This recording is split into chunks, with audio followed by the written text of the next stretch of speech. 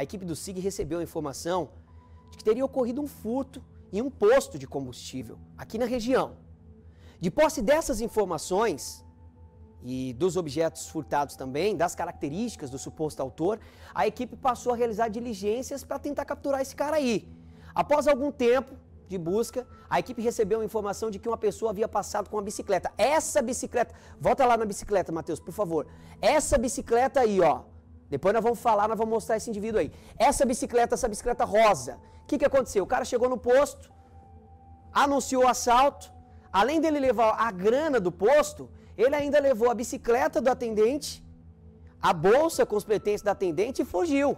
E ele achou que ele não ia ser encontrado, né? Porque muitas vezes o cara que furta, o cara que rouba, ele acredita na impunidade, ele acredita que vai sair impune, ele acredita que ele não vai ser encontrado.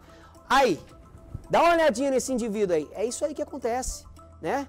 O cara pensa que vai sair impune. Após algum tempo de busca, a equipe recebeu informação de que esse indivíduo aí havia passado com essa bicicleta, que inclusive tem as características da bicicleta que foi furtada. A equipe seguiu na rodovia, na BR-262, aqui sentido a Três Lagoas, e após percorrer mais de 35 quilômetros, o indivíduo é atleta ainda. Ele é atleta. Ele andou 35 km, só aqui, ó.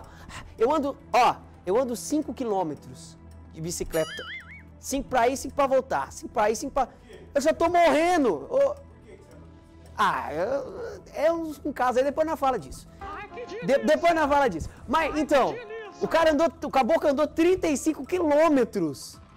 E aí cruzou com a, com a polícia, né? Tava com a mochila nas costas, tava com a bicicleta que batia com as características, e aí ele foi capturado. A sirene cantou pra ele.